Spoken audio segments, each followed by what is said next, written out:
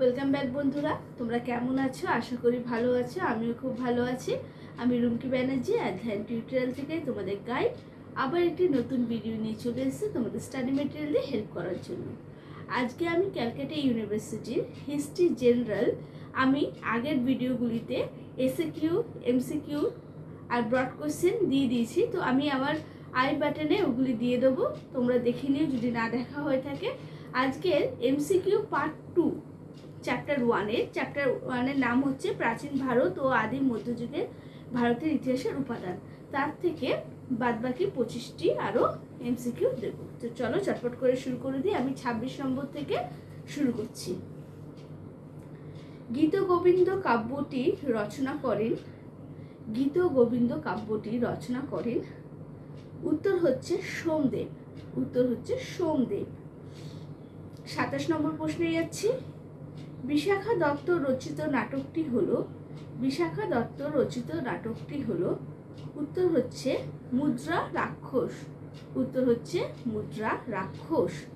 দেবী চন্দ্রগুপ্তমের রচয়িতা হলেন, দেবী চন্দ্রগুপ্তমের রচয়িতা হলেন বিশাখা দত্ত। উত্তর হচ্ছে বিশাখা দত্ত। উনত্রিশ নম্বর প্রশ্নে যাচ্ছে, মুদ্রা রাক্ষস নাটক থেকে যে বংশের রাজত্বকাল সম্পর্কে জানা যায়। মুদ্রা রাক্ষস নাটক থেকে যে বংশের রাজত্বকাল সম্পর্কে জানা যায়। উত্তর হচ্ছে মৌর্য বংশ। উত্তর হচ্ছে মৌর্য বংশ। তিরিশ নম্বর প্রশ্নে যাচ্ছে।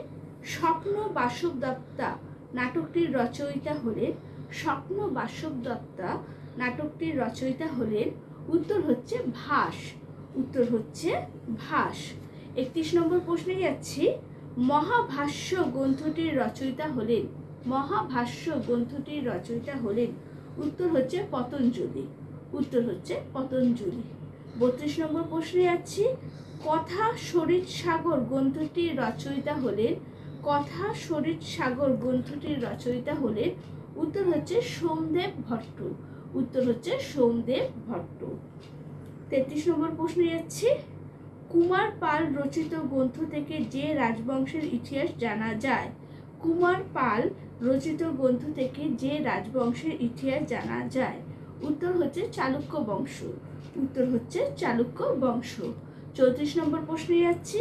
পদ্মগুপ্ত কর্তৃক রচিত নব নব শশাঙ্ক চরিত থেকে যে ইতিহাস জানা যায়, পদ্মগুপ্ত কর্তৃক রচিত নব শশাঙ্ক চরিত থেকে যে বংশের ইতিহাস জানা যায়। উত্তর হচ্ছে গুর্জর বংশ। উত্তর হচ্ছে গুর্জর বংশ পঁয়ত্রিশ নম্বর প্রশ্নে যাচ্ছি, তহকিক ইহিন গ্রন্থটি কার রচনা? তহকিক ইহিন গ্রন্থটি কার রচনা? উত্তর হচ্ছে আলবিরুনি। উত্তর হচ্ছে আলবিরুনি।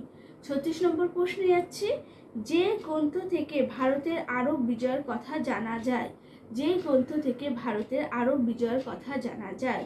উত্তর হচ্ছে তারিকি সিন্ধ। উত্তর হচ্ছে তারিকি সিন্ধ সাঁত্রিশ নম্বর প্রশ্নে যাচ্ছি, এলাহাবাদ প্রশস্তি রচনা করেন কে? এলাহাবাদ প্রশস্তি রচনা করেন কে? উত্তর হচ্ছে হরিসেন উত্তর হচ্ছে হরিসেন আটত্রিশ নম্বর প্রশ্নে যাচ্ছি, এলাহাবাদ প্রশস্তি থেকে যে গুপ্ত রাজার ইতিহাস জানা যায়? এলাহাবাদ প্রশস্তি থেকে যে গুপ্ত রাজার ইতিহাস জানা যায়? উত্তর হচ্ছে সমুদ্রগুপ্ত। উত্তর হচ্ছে সমুদ্রগুপ্ত। উনচল্লিশ নম্বর প্রশ্নে যাচ্ছি অশোকের শিলালিপি পাঠোদ্ধার করেন কে? অশোকের শিলালিপি পাঠোদ্ধার করেন কে? উত্তর হচ্ছে জেমস প্রিন্সেপ। উত্তর হচ্ছে জেমস প্রিন্সেপ। চল্লিশ নম্বর প্রশ্নে যাচ্ছি। আইহল প্রশস্তি থেকে যে রাজার ইতিহাস জানা যায়। আইহল প্রশস্তি থেকে যে রাজার ইতিহাস জানা যায়। উত্তর হচ্ছে দ্বিতীয় পুলকেশী। উত্তর হচ্ছে দ্বিতীয় পুলকেশী। একচল্লিশ নম্বর প্রশ্নে যাচ্ছি। আইহল প্রশস্তির রচনা করেন কে? আইহল প্রশস্তি রচনা করেন কে? উত্তর হচ্ছে রবি কীর্তি। উত্তর হচ্ছে রবি কীর্তি। বিয়াল্লিশ নম্বর প্রশ্নে যাচ্ছি। আইহল প্রশস্তির রচয়িতা রবি কীর্তি কার সভাকবি ছিলেন? আইহল প্রশস্তির রচয়িতা রবি কীর্তি কার সভাকবি ছিলেন? উত্তর হচ্ছে দ্বিতীয় পুলকেশী। উত্তর হচ্ছে দ্বিতীয় পুলকেশী। তেতাল্লিশ নম্বর প্রশ্নে যাচ্ছি, সাতবহন রাজা গৌতমী পুত্র সাতকর্ণের ইতিহাস জানা যায় যে লিপি থেকে। সাতবহন রাজা গৌতমী পুত্র সাতকর্ণের ইতিহাস জানা যায় যে লিপি থেকে। উত্তর উত্তর হচ্ছে নাসির প্রশস্তি নাসিক প্রশস্তি। চুয়াল্লিশ নম্বর প্রশ্নে যাচ্ছি, ভিটরি স্তম্ভলিপি থেকে ভারতে যে আক্রমণের কথা জানা যায় ভিটরি স্তম্ভলিপি থেকে ভারতে যে আক্রমণের কথা জানা যায়, উত্তর হচ্ছে হুন আক্রমণ। উত্তর হচ্ছে হুন আক্রমণ। পঁয়তাল্লিশ নম্বর প্রশ্নে যাচ্ছি। গোয়ালিয়র প্রশস্তি থেকে যে রাজার ইতিহাস জানা যায়, গোয়ালিয়র প্রশস্তি থেকে যে রাজার ইতিহাস জানা যায়, উত্তর হচ্ছে প্রতিহার রাজ মিহির ভোজের।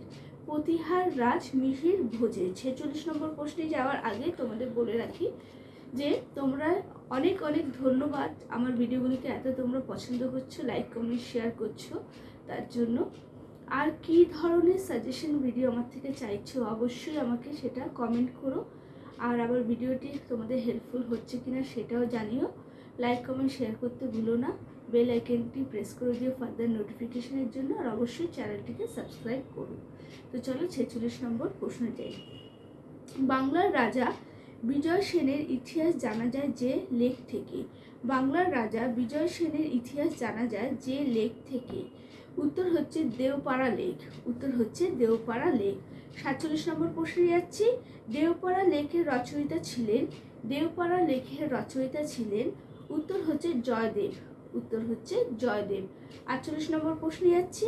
নিষ্ক ও মনা নামক মুদ্রা ছিল নিষ্ক ও মনা নামক মুদ্রা ছিল, উত্তর হচ্ছে বৈদিক যুগের। উত্তর হচ্ছে বৈদিক যুগের। পরবর্তী প্রশ্নে যাওয়ার আগে বলে রাখি, তোমরা আমাকে অনেকেই মেল করেছ অনলাইন অফলাইন পড়ার জন্য। আমি তোমাদের রিপ্লাই দিয়ে দিয়েছি কন্ট্যাক্ট ডিটেলসও দিয়ে দিয়েছি। আর যারা পড়তে চাইছো, আমার ইমেল আইডি ডিসক্রিপশনে দেওয়াই আছে। তোমরা আমাকে কন্ট্যাক্ট করতে। উনপঞ্চাশ নম্বর প্রশ্নে যাচ্ছি, ভারতের সর্বপ্রথম স্বর্ণ মুদ্রা প্রবর্তিত হয় ভারতের সর্বপ্রথম স্বর্ণ মুদ্রা প্রবর্তিত হয় উত্তর হচ্ছে কুষাণ যুগে। উত্তর হচ্ছে কুষাণ যুগে। অন্তিম ও শেষ প্রশ্নে যাচ্ছি। ক্যাজু নামক স্বর্ণ মুদ্রাটি ছিল, ক্যাজু নামক স্বর্ণ মুদ্রাটি ছিল, উত্তর হচ্ছে চোল রাজাদের। উত্তর হচ্ছে চোল রাজাদের। তো আজকে এই পর্যন্ত বন্ধুরা। Thank you for watching